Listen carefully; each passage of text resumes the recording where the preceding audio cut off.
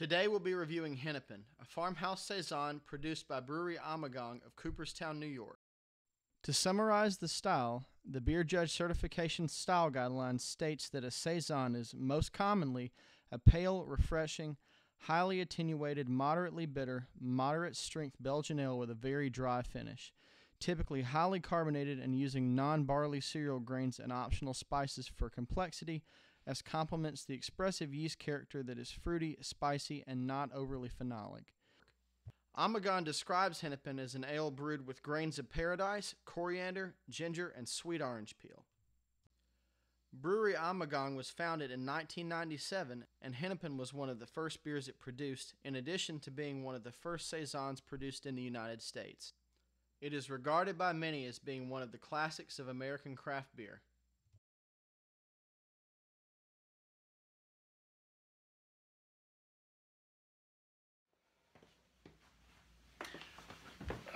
Welcome, welcome everybody. Grab a beer and pull up a chair. It is time for another review. Today we're going to be talking about something kind of special. Uh, it's one of the first beers that I really remember loving a lot. Um, I got into beer my, I guess, junior year of college. Really had never never had much of any alcohol up until that point. And like I said, this is one of the first beers I really remember getting interested in caring about. I took a real interest in Belgian beer. And while this is not technically Belgian, it is part of the Duvel family of ales, which is really great, and I'm, I'm glad that they're part of that. Um, it is one that I distinctly remember just had my mind blown by. I was just, I, I fell in love with it. You know, a lot of people fall in love with the American IPAs. I fell in love with the Belgian styles. Um, so anyway, this is, as stated in the intro, this is Hennepin Farmhouse Saison or Saison Ale from Brewery Ommegang out of Cooperstown. It is 7.7 alcohol by volume. 7.7% alcohol by volume.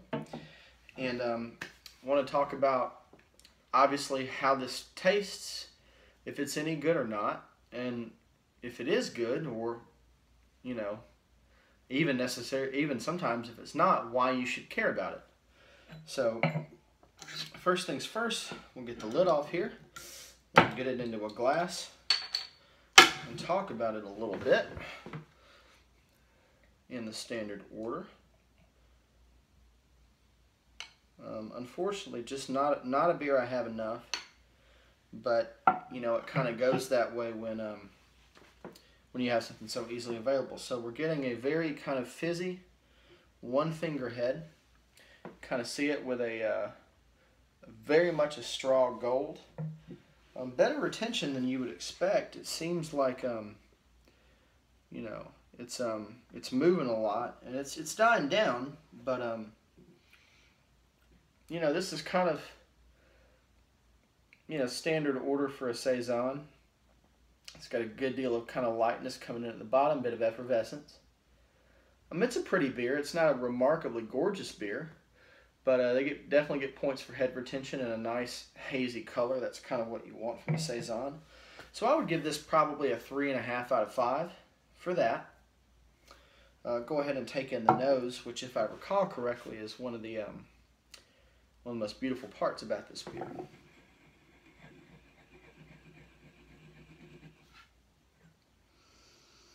Okay, so we're definitely getting a lot of um, a lot of notes that suggest Hefeweizen. You're getting some banana and some clove, a lot of those real real phenolic notes right off the bat, which is kind of it's not what I remember, and it's not quite what you'd expect, although it's not bad. Um, it, it's it's pleasant. It's just kind of surprising. Um, honestly, that's that's kind of what I'm getting right off the bat. I'm missing some of the spice. I'm getting a little bit of it, and I'm missing some of the pepper.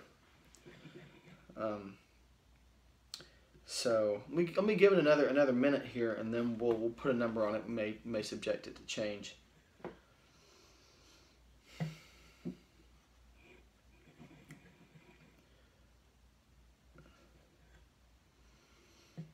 Okay, so right now I'm going to go ahead and give this a 3. Um, uh, my reason for that is while the nose is pleasant, it smells like a German wit. It smells like a Hefeweizen. Not German wit, Hefeweizen. Um, and while that's pleasant, that's not what I asked for, and it's missing the key notes of intense spice and pepper. Um, and citrus, but but really more the spice and the pepper I think are, are the most unique to saison characteristics. So, um, so far we're going with a three and a half for appearance and a three for smell.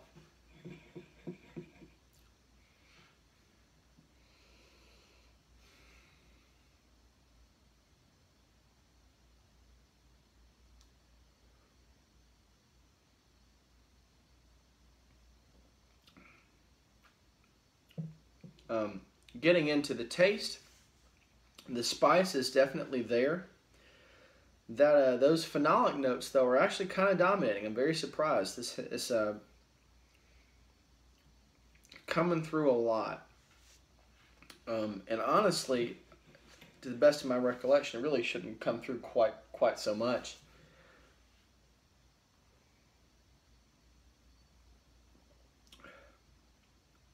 Definitely get a little bit of citrus. Um, a lot, a lot, a lot of yeast, which you should you should see with the saison more than any other style. The yeast moves moves the saison. That's what that's what's supposed to be going on there. Um,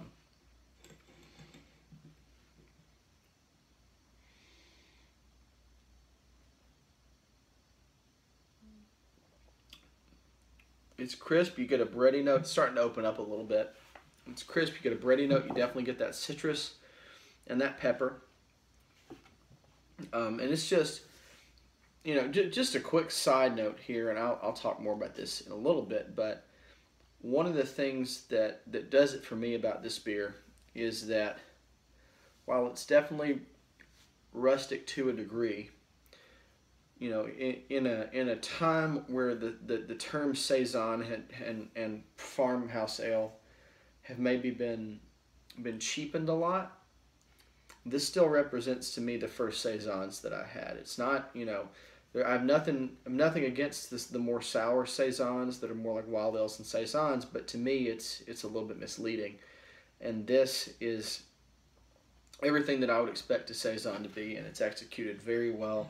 It's it's distinctive, but it doesn't deviate too far from the plan.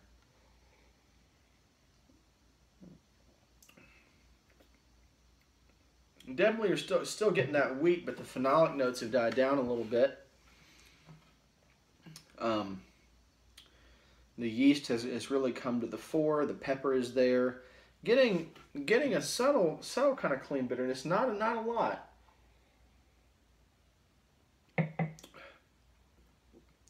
Honestly, you know, I, I'd be interested to see to see this beer with a little bit more of a hot presence. It's got a subtle clean bitterness toward, excuse me, toward the end, but it's not overwhelming. And while I don't, I wouldn't like it to be overwhelming, I do think a lot of the times saisons do need a good little bit of a bite toward the end. Um, but this is, um, it's very complex. It's one of those beers I think that I, you know I have a sentimental attachment to.